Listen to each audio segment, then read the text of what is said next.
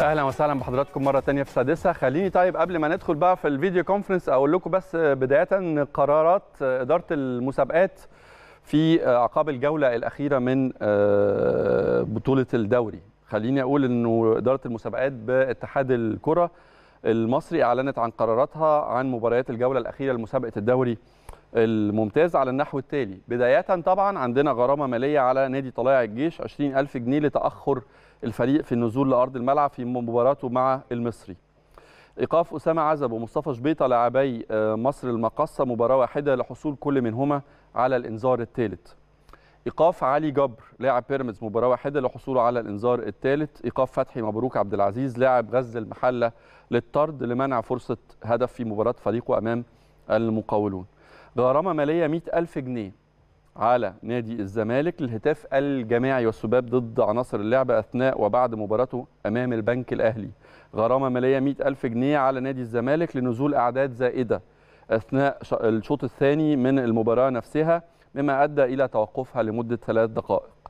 إيقاف أحمد أبو الفتوح لاعب الزمالك مباراة لحصوله على الإنذار الثالث في المباراة نفسها.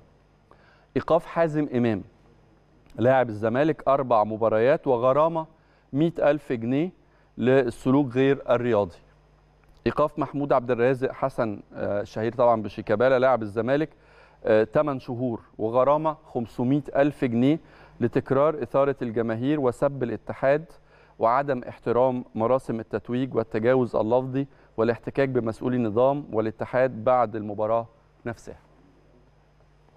دي عقوبات طبعا الخاصة بالجولة الأخيرة اللي شهدت الحقيقة أحداث مؤسفة. في توقيت كان المفترض الحقيقة إنه يكون أجواء احتفالية. يعني أنا يعني إحنا بنتابع في كل أنحاء العالم وهنشوف معاكم الحقيقة النهارده لقطات توضح الفرق الكبير الفرق ال ال السنين الضوئية الحقيقة. أنا هنا مش بتكلم بس على اتحاد كورة ومش بس بتكلم على أندية. مفترض إن هي بداية يعني يعني تكون هي حجر الزاوية فيما يتعلق بالأخلاقيات. أي لاعب لابس فانيلة نادي هو بيمثل هذا النادي. وبالتالي أسلوبه سلوكه تصرفاته كلامه محسوب بالتأكيد على النادي. فأي شيء بيسيء بيسيء للمنظومة. وكان من المفترض إنه نادي بحجم نادي الزمالك كان من من الأولى ومن الأجدى إن هو يكون صاحب العقوبات للخروج عن النص. قلنا مرارا وتكرارا وأعتقد ده مبدأ ما حدش يقدر يختلف عليه إنه الأخلاق والسلوكيات تأتي قبل البطولات والألقاب.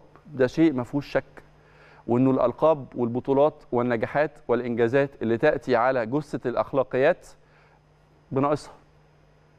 في حد ممكن يختلف مع الكلام ده؟ في حد إنه شايف ممكن يكون شايف إنه الكلام ده خارج المنطق؟ نرجع مرة تانية وبنقول إحنا بنعلم ولادنا إيه؟ وبنعلم أجيال اللي جاية إيه؟ وفي النهاية برضو في علامة استفهام هل العقوبات دي تحقق تحقق مبدأ الردع؟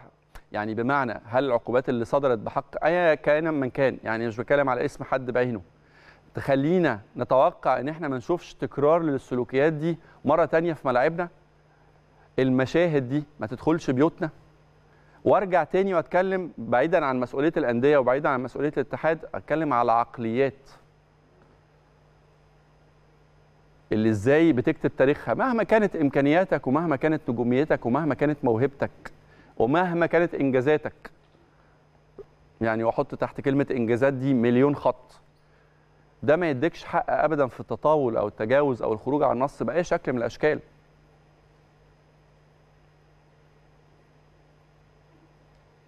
العقلية اللي خلت محمد صلاح في المكانه اللي بيتمتع بيها النهارده خليته في وسط واحد من أو خليته واحد من وسط أهم مجموعة أسماء في عالم كرة القدم. هي العقلية اللي افتقدتها كتير من مواهب الكرة المصرية واللي راحت لطريق للأسف الشديد جدا مش لاقي له مسمى غير إنه طريق منحرف. بعيدا كل البعد عن الرياضة وعن أخلاقيات الرياضة. اللي المفترض يعني الناس بتمارس رياضة عشان تسمو بأخلاقياتها. الناس بتمارس رياضة عشان تعلى بروحها. الناس بتمارس رياضة عشان تبعد عن كل ما هو مرتبط بالعنف أو بالانحراف أو بالتطرف أو بالتعصب. عشان كده الناس بتلعب رياضة.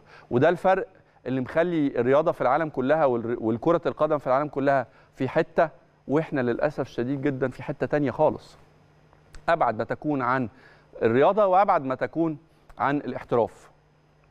هل من الممكن إنه لاعب مصري محترف في أي دوري من الدوريات يعمل نفس السلوك؟ أشك. هل من الممكن إن المشاهد اللي إحنا شفناها في الدوري أو في المباراة الأخيرة في احتفالية مفترض إنها احتفالية فوز وتتويج بدرع الدوري تتكرر في دوري تاني من غير ما أشوف عقوبات رادعة؟ أشك. على كل الأحوال عشان ما نضيعش وقت حلقتنا وعندنا فقرات كتيرة جدا مفترض وإحنا بنشتغل عليها وبنحضرها لجمهور النادي الأهلي ولمشاهدي السادسة إنها تكون ممتعة.